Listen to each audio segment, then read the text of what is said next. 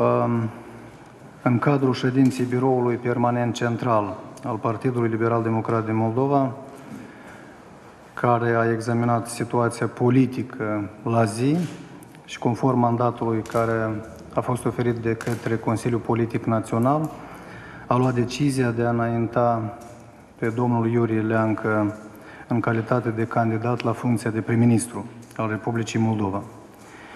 Eu vreau, în primul rând... Anunțul a fost făcut în cadrul unui briefing de către liderul partidului și fostul prim-ministru Vlad Filat. Iurie Leancă este prim vicepreședinte al acestei formațiuni. În cursul negocierilor cu celelalte partide, Partidul Liberal Democrat din Moldova va solicita ca guvernul să beneficieze de sprijinul necesar pentru a continua reformele inițiate anterior. Filat a mai declarat că Partidul Liberal Democrat din Moldova va negocia formarea noului guvern cu Partidul Democrat, cu reprezentanții Partidului Liberal și cu grupurile parlamentare care doresc modernizarea Republicii Moldova. Filat a precizat că negocierile vor începe după ce președintele Nicolae Timofti va semna decretul de desemnare a lui Leancă în funcția de premier.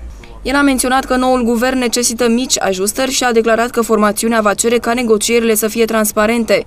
Filat a lăsat să se înțeleagă că nu va accepta o funcție în noul guvern și că se va concentra asupra activității politice, în calitate de lider al partidului.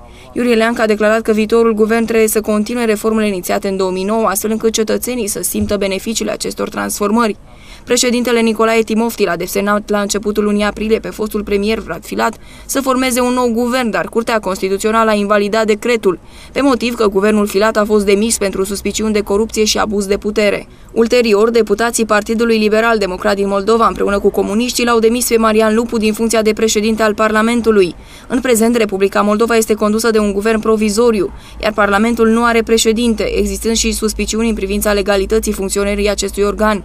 Președintele Nicolae Timofti are atribuții limitate, iar unicul lucru pe care îl permite Constituția în situația creată este să consulte grupurile parlamentare pentru desemnarea unui candidat la funcția de prim-ministru care să formeze noul guvern, iar în cazul în care acesta nu va fi susținut de Parlament, să dizolve legislativul și să anunțe alegeri anticipate.